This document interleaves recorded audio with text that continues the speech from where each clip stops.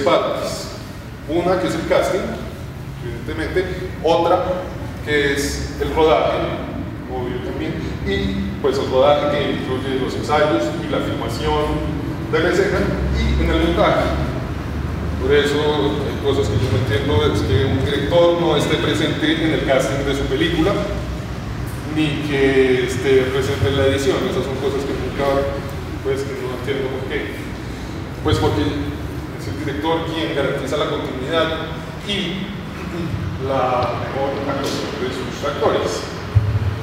Además, ya lo veremos más adelante, pero el casting realmente cuando uno está trabajando además con actores profesionales muchas veces no estamos evaluando la capacidad de un actor. Se supone que si, es, si llegó a mi puerta debe ser bueno, si es un actor profesional reconocido, pero lo que se está evaluando es mi capacidad de comunicar con él, mi capacidad de dirigirlo y su capacidad de entender lo que yo le estoy diciendo y de transmitir lo que yo quiero contar. Entonces, ¿qué es una buena actuación cinematográfica? dirigir actores es realmente una cuestión de sensibilidad y es una cuestión que muchas veces es subjetiva.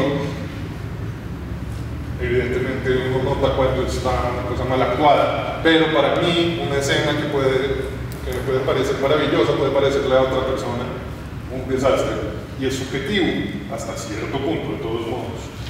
Eh, otros países, no solamente de Colombia, no son tan buenos. Hay una cuestión cultural que yo no sé de dónde viene, si es que pues, cuando uno ve a los gringos, uno llega a Estados Unidos, lo primero que ve se sienten como en una película, porque todo el mundo es como si estuviera actuando. ¿O será que los actores son tan buenos que acomodaron eso, matricularon excesivamente? Bueno, no sé. La actuación se basaba en estereotipos, es decir, en códigos representativos.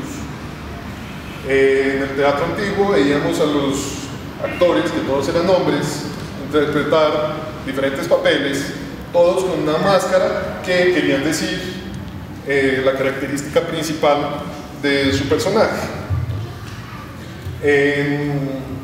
Después, y esto continuó durante los años, durante los siglos, en el teatro clásico, veíamos, por ejemplo, con todos estos textos, por ejemplo, de Shakespeare, que son que estaban extrañamente hechos para parecer naturales, pero pues que en este momento son absolutamente inverosímiles o con el teatro francés, y los veíamos cuando decían sus textos, y entonces tenían diferentes poses. Poses que vemos, por ejemplo, en el comienzo del cine mudo, donde vemos, por ejemplo, cuando estaba una chica triste, una pose así significa el profundo dolor. O tenían diferentes códigos que conocía el público y que estaban hechos para transmitir emociones.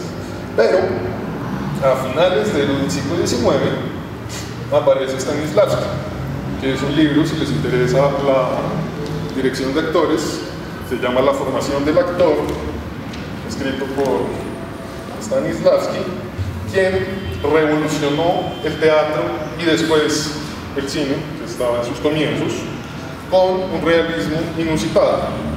Y resumiendo muy brevemente, muy burdamente lo que estaba diciendo él, eh, él cambia el carácter representativo de, las tablas por una interpretación mucho más profunda de la actuación. Lo que dice es que no es suficiente ni siquiera es válido representar las emociones de un personaje. Eso es lo que nosotros hacíamos en el colegio. Es decir, hacer ver lo que está haciendo el personaje hacer las diferentes poses o abrir los ojos o decir, oh,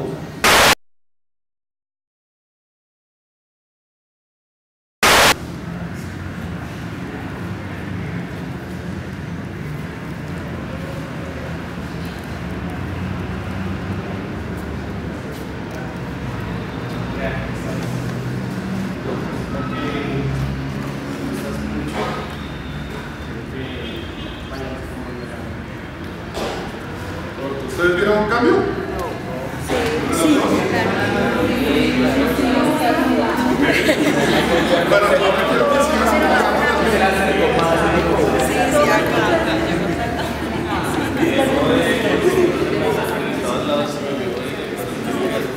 Ok. Ahora, quiero que guardes el mismo texto. Hola Andrea. ¿Cómo estás? Quiero llevarte a comer helado. O me gustas quiero llevarte a comer helado. No lo que quieras, pero con esos. Y ahora quiero que lo hagas más tímido.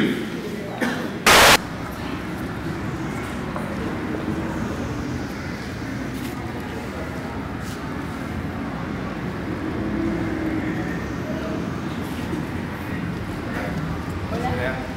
¿Cómo estás? ¿Pasa algo? Me gustas mucho.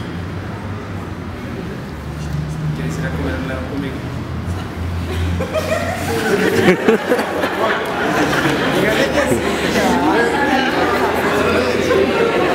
Debido a esa reacción, nadie la va a invitar a comer helado. Pero ven la dificultad. No, para Andrea es difícil. Y ella que solo tiene que escuchar. Eh, ¿Cuál es la diferencia? ¿Pues vieron la diferencia? Sí. ¿Cuál era? No, pero yo que me parece si yo le dije tímido, entonces, perdón, pero se volvió un poco caricatural. Sí, exagera un poco con los que No, entonces como le digo tímido, guarda las manos. No sé si antes tenía las manos en el bolsillo, pero entonces mira al techo, como que ya no sé, y que volvemos, venimos a un nivel de representación de escuela. Perdón. ¿Sí? Pero ahora quiero una diferente, ahora quiero que lo hagas poco menos tímido, pero más seductor.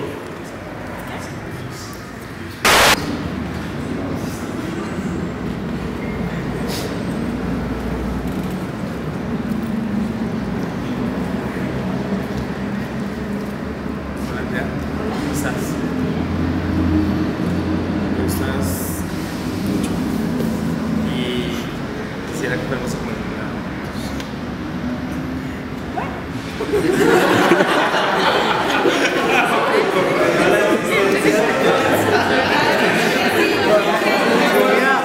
Ahora pues llega un poco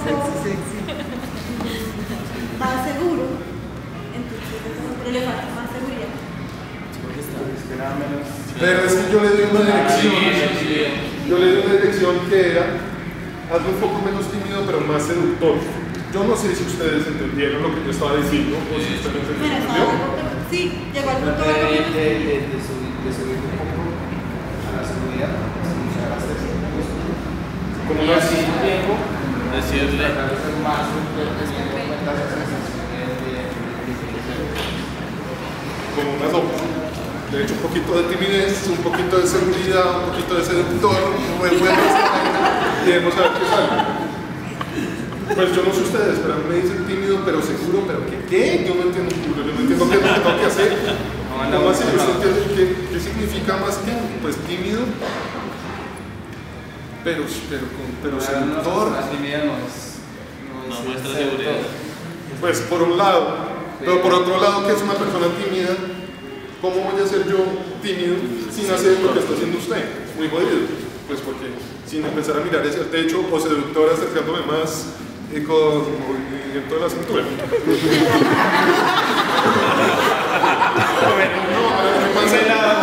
¿qué es lo que está pasando aquí? Que yo le estoy dando malas direcciones porque le estoy, le estoy dando direcciones de resultado. Estoy dando direcciones en las que quiero que usted, en las que quiero que usted cause un efecto directo, un resultado. Quiero verlo tímido. Pero el problema es que tímido o seductor es todo, pues es muy subjetivo. Una persona seductora puede tirar tres cuartos o después. Entonces, una manera. ¿Cómo?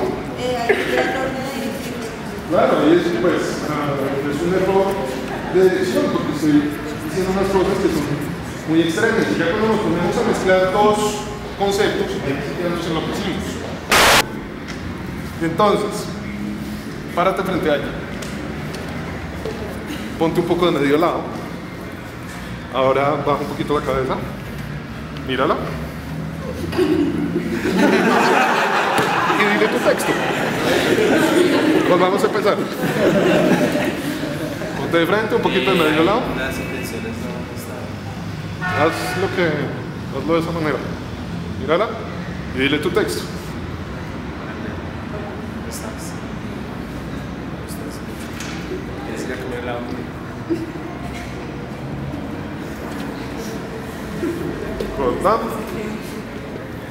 ¿Qué cambio vieron ustedes?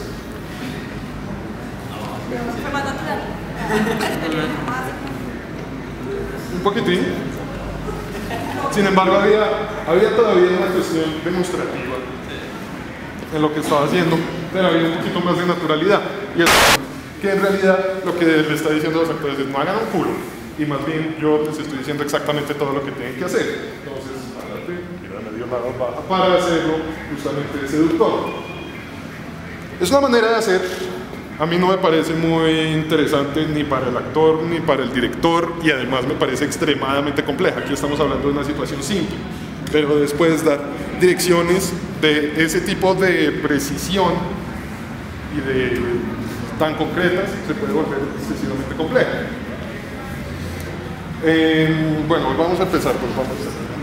Pero espera un momento, ¿no?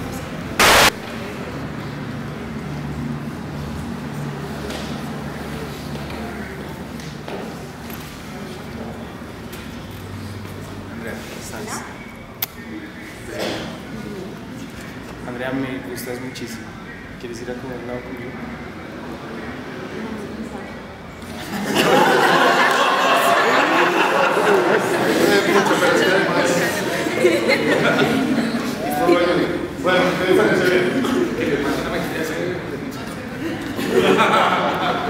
Pero ¿por qué más seguridad?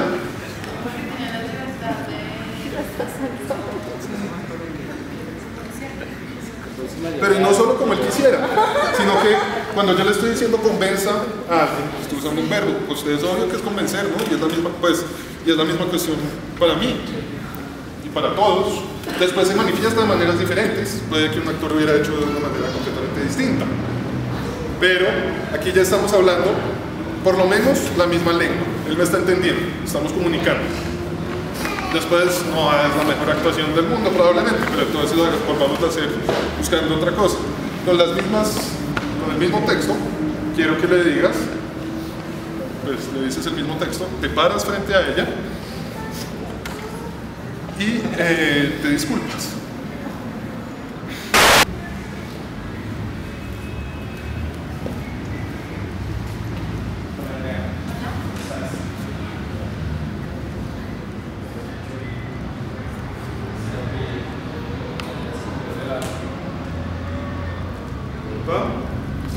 Sigue siendo un poco exterior, porque no es, es mejor profesional, pero, pero ustedes que notan aquí, ¿ya hay una diferencia? También hubo una diferencia clara, y aquí es cuando lo vi tímido, justamente. Y funcionó mucho más que cuando venía mirando el techo y demás. Eh, fue un poco, la dirección es un poco rara, pero es una opción diferente de lo que habíamos visto.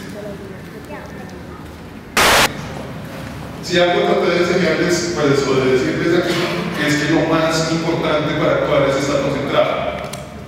Tanto los actores como el director están trabajando con emociones, y si todo el mundo está hablando alrededor y si todo el mundo se está viendo, es muy difícil lograr algo interesante. Y en realidad, porque es que la mayoría de cortos estudiantiles o pues fallan y no son buenos. No creo que sea por una falta de experiencia ni por una falta de capacidad, es por una falta de organización y de concentración. Y hay que tener en mente entonces en set dos principios muy importantes. Primero, zapatero a tus zapatos. Es decir, cada uno ocupa sus cosas. El único que dirige a los actores es el director. Por ende, el actor solo opina sobre su actuación, no sobre la actuación de sus compañeros. El camarógrafo no está opinando sobre los actores, está opinando sobre la luz, el encuadre y eventualmente sobre la puesta en escena. El sonidista sobre el sonido, el director de arte sobre el arte, etc. El productor sobre temas de producción. Solo la actriz y, la, el primer asistente de dirección pueden opinar sobre la, sobre la actuación, pero lo hacen en voz baja y en la oreja del director, no en la mitad del set. Opinan una vez, insisten si realmente piensan que es muy importante, insisten una vez, después se caen, independientemente de que el director escuche o no escuche lo que están diciendo. Lo que pasa El director tiene que estar tomando decisiones a cada instante, cada vez, por ejemplo, una, una película donde un equipo de 60 personas, cada vez que el director abre la boca, está generando un montón de acciones por detrás, un montón de decisiones. Si de repente el director dice, vamos a filmar hacia este lado, eso significa que todos los camiones los tenemos que atrás. Significa que, el equipo de arte tiene que ambientar todo este lugar. Significa que tengo que poner la cámara, significa que tengo que iluminar este lugar. Si de repente empieza a dudar y dice, no, pero entonces no estoy seguro, ya se puso todo en marcha y define, rodar por el otro lado. Pues ahí estamos perdiendo una horita de trabajo. Tenemos que volver a pasar los camiones, volver a meter las luces, volver a ambientar, y etcétera. Y entonces el director tiene que estar convencido de sí mismo, pero si tiene a 60 personas que están opinando sobre lo que hace él, mi hermano va a perder la confianza en sí mismo y la película o el rodaje se